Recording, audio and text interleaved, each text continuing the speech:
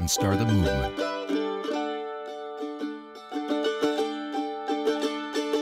Stand up for a cause, a child, a family. Stand up to know and say yes.